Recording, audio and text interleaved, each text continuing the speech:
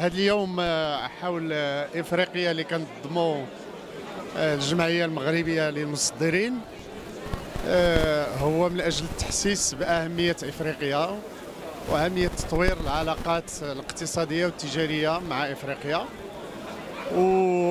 والمواضيع اللي غيتم التطرق لها خاصة مواضيع الذكاء الاقتصادي ومواضيع تنميه البنية التحتية.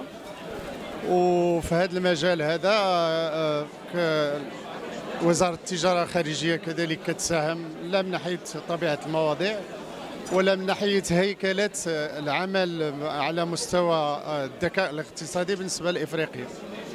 فبشراكة مع المجلس الوطني للتجارة الخارجية آه، الوزارة آه، نشأت واحد النظام اليقظة حول إفريقيا. واللي هو كيشتغل حاليا بطبيعة الحال كينتج العديد من المنتوجات منهم دورية حول آه، المشاريع المتواجدة في أفريقيا أو مشاريع لي زوبورتونيتي دافير واللي هي كتصدر نسبيا كل يوم.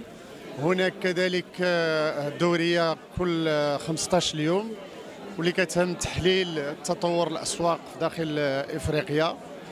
وهذه المنتجات كلها كيتم توزيعها بطبيعة الحال على الفاعلين الاقتصاديين. الشيء اللي كيمكن بطبيعة الحال رفع عمليه قضاء اقتصاديه بالنسبة لهذ الفاعلين هذو شنو هو التقدم اللي حقه المغرب في هذا المجال ديال تحقيق ما جاء في الزيارات الملكية؟ اولا الزيارات الملكية هي زيارات آه، اللي كتعطي واحد آه، توجيه على المدى الطويل. والتوجيه على المدى الطويل هو أن أفريقيا خصها تعتمد على نفسها. تعتمد على التعاون بين البلدان ديالها والثق في القدرات ديالها. وبفضل هاد ثلاثة الركائز على ما أعتقد أنه يمكن نخرجوا بشكل كبير من حالة آه، التبعية للذكاء آه، الخارجي ومجموعة من المسائل. على ما أعتقد أن هناك طاقات كثيرة في إفريقيا اللي لا اشتغلت بيناتها وتعاونات بفضل هاد هاد الخ- الخطوط العريضة.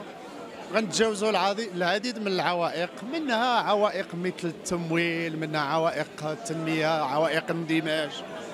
فبفضل هاد الملتقيات بالخصوص اللي كتجمع بين الفاعلين الأفارقة يمكننا نحققوا هاد هاد هاد الامال اللي هي ماشي غير امال ولكن اصبحت ضروره إلا بغينا نوفروا الشغل ورفع قيمة مستوى العيش بالنسبة للشعوب الإفريقية.